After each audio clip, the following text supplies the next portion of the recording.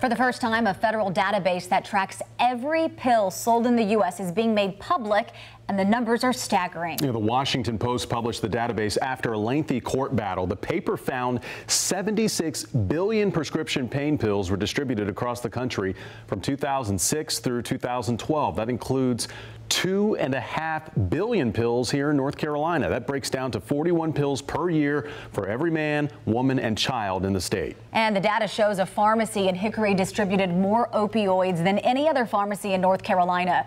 New tonight, NBC Charlotte's Brandon Goldner takes us behind the numbers.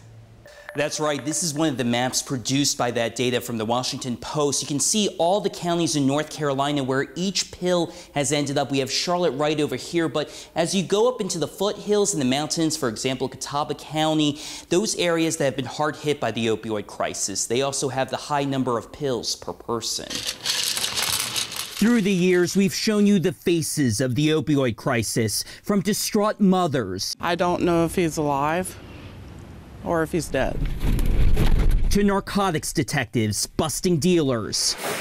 Now, for the first time, we're seeing the numbers behind the faces. The Washington Post obtained and published a county by county database from the Drug Enforcement Administration. It shows where every oxycodone and hydrocodone pill was sent in the United States from 2006 to 2012. Steven Rich is the database editor for the newspaper's investigations team. We really wanted to put in perspective and in context how your communities were affected by the number of pills that flowed into them.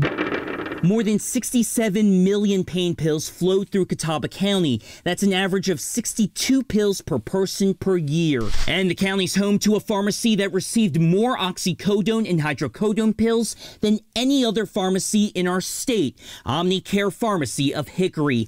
CVS Health owns the pharmacy. It tells us Omnicare tends to have a higher volume of business than the typical retail pharmacy because it doesn't serve directly to customers, only skilled nursing and assisted living facilities. The company says its Hickory location is one of its larger pharmacies in the region. Rich says just because a pharmacy receives so many pills doesn't necessarily mean something's wrong but it increases the chance these pills end up in the wrong hands. There was a greater risk of these pills hitting the black market. Not that they did, but these two drugs, hydrocodone and oxycodone, uh, were the ones that were the most diverted uh, at the height of the crisis to the black market. We'll post a link to this database online at WCNC.com so you can see for yourself in your own county. Brandon Goldner, NBC Charlotte.